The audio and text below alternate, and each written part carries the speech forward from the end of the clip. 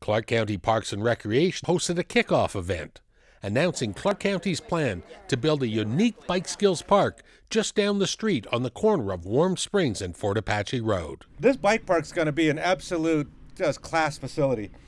It's going to consist of a multi-level skill courses, obstacles, a pump track, a single track riding opportunities for beginners to advanced riders.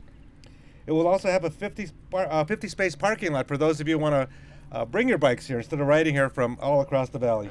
Public bike skill parks are starting to pop up all over the country, including the Snake Hollow facility in St. George, Utah. Clark County is planning to use a blueprint similar to Snake Hollow, design and construct a riding environment for cyclists of all ages and levels of expertise. These parks are equipped with different surfaces and a variety of technical and challenging elements. The park will be funded by a grant through the Southern Nevada Public Lands Management Act, and the public is invited to participate in the design and amenities to be included at the new bike park.